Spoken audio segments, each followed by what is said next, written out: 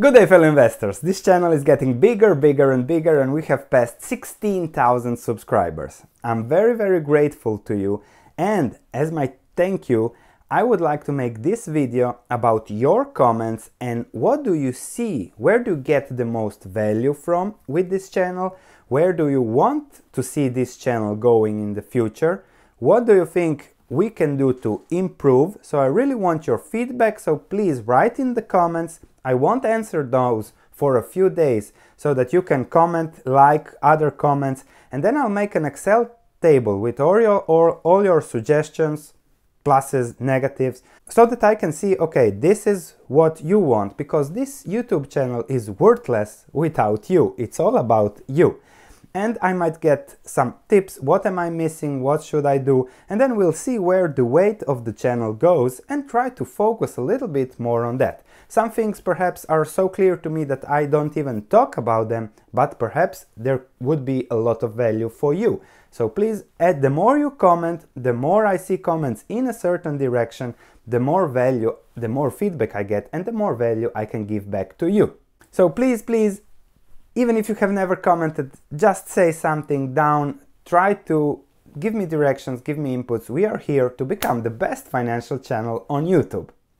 Further on that, just a quick update, I have launched Facebook page Sven Carlin, IGTV also just to try as I make the videos, they will be published there too, so see where do you prefer watching this. Facebook, IGTV, even if just liking or easier for sharing, I will really appreciate if you do that for me. And as it's common on Friday, let's just answer one comment. So, Alexanders says, Sven, that's a great idea to build a portfolio over 10 years for the next 50 years, but I'm almost 20 now, so in a rush. When you're young, you're in a rush, when you're older, you have more patience.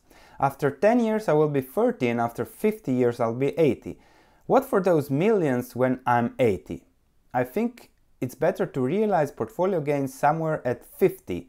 How can portfolio be built over for 10 years? This is crazy. For 10 years I will be sitting in cash on 2-3% bonds and that's will be it. So when I say build a portfolio over 10 years, I don't mean wait for 10 years do nothing. I mean okay, now this is cheap let's be overweight here and let's buy with this. Next year with the money, oh, this is cheap, let's go here. Next, in the third year, this, this, this, and you take your time over a year to buy, slowly build your position. After 10 years, you have an extremely well diversified portfolio that you all bought on the cheap and you don't have to sell. You don't have a target, oh, I'm going to sell everything. You will be getting so much money from dividends that you won't be needing to sell anything.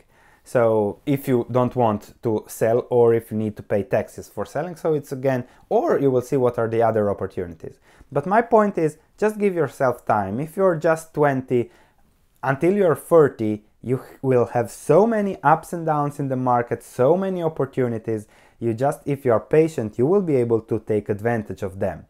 If you follow the market for 10 years, a little bit, a little bit over a long time, not a lot in a short time, you will perfectly understand valuations, risk rewards, long-term trends to really make great portfolio, especially if you look at this channel. So my message is really don't do anything, but really take your time to build something over the long term.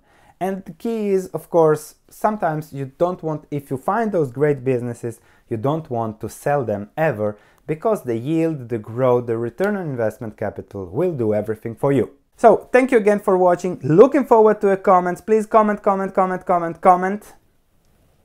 I thank you again for the support I get this on this YouTube and I really wish to make this the best experience for me. I love your comments for you to add as much value as we can in the limited time we have. See you in the next video.